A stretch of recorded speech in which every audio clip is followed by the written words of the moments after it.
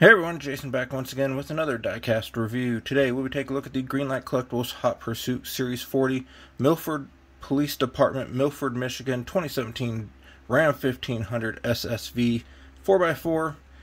I picked this up from my friends over at the Diecast Pub, Melissa Smith. She is the retail and e-commerce manager.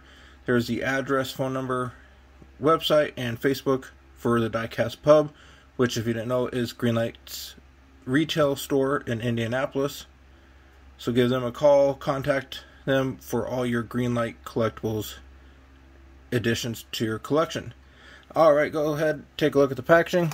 Comes in your standard Greenlight clamshell packaging featuring Greenlight Collectibles Hot Pursuit right front center there. Does feature a die-cast metal chassis, as I mentioned, Series 40. Got the 2017 Ram 1500 there from the Milford Police Department, Milford, Mich Michigan in the background. Here are all the other releases in release 40. The next one I'd probably want is the Durango from 2019 for the NYPD. That is the packaging. We'll go ahead and take a look at the truck now. Alright, let's go ahead and pan down here. It's a really good looking truck. No opening features on this one. We do have inserted details for your headlights. Got the Ram logo on the center of the grill. Got some lights and push bar on the front there. Mine is unfortunate looks to be a little crooked. I'll probably heat that up and fix that though. Got the Milford Police Department badge on the fender as well as Hemi 5.7 liter. Got silver painted details for your mirrors. Black door handles. Milford Police serving since 1943. Got black wheels. The real truck has beadlock wheels. Looks really mean and aggressive. On the back of the cab we have the third brake light. Side rail of the bed we have tradition, integrity, and pride. Got AEV and Partners on Patrol on the side there. Back on the tailgate, we have Milford Police 4x4. We got some chevrons.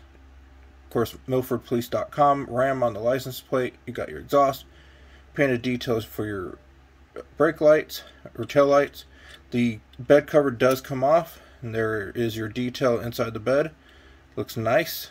But I'll probably always just display mine with the bed cover on. It literally just sits on there. I don't think it pegs on or nothing. Right side of the truck is about the same as the left side, no major differences or QC issues. It's very dark tinted windows on the right and left side, as well as the back. It's pretty tinted. Bottom of the truck, no uh, tow hitch on this one. Here is your tooling, GL. I don't know what that, 84 maybe? I don't know. 34, I can't read it. It's not. It's hard to see in my uh, phone there. Overall, it's a great release from Greenlight Collectibles. Once again, thanks to Melissa and everyone at the Diecast Pub for the awesome model to review. If you enjoyed this review, get a thumbs up, subscribe for more, post new Diecast reviews throughout the week, so be sure to click the bell for notifications so you don't miss out. Find me over on Twitter at JasonA.Strain69.